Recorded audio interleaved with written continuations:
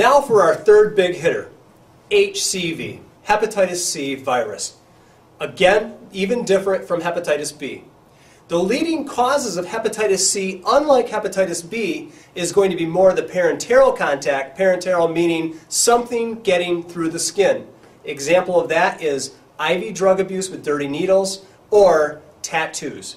Now, along with that, we still see multiple sexual partners uh, and the fact that people can get an occupational exposure to it, but again, primarily we're seeing it more in IV drug abusers and dirty needle use.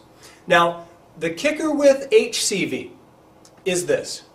You not only have an incubation period that is literally undeterminable, which means not only do you not get sick in six months or six years, we don't know when you might show the signs and symptoms. It's much like HIV. Some people, they get exposed to a strong virus of, of, um, of the human immunodeficiency virus, HIV, and they start showing symptoms within a month or two. Other people never convert to AIDS. Like that, hepatitis C is very much the same. We don't know when the individual's immune system is going to get lowered to a point where the incubating, dormant HCV virus begins its attack against the liver and the rest of the body.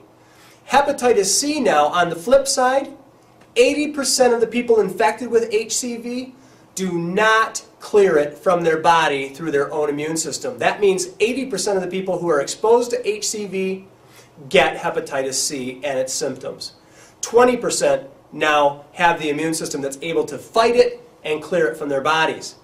And you can't really rely on the symptoms to let you know, heads up, you got exposed to HCV. By the time you're showing the symptoms, chances are you've got the virus for a lifetime it is not only going to cause acute problems with your liver function, but it can also lead to the hepatic cancer, and we won't even get into the other ramifications like you'll never be able to get health or life insurance potentially again.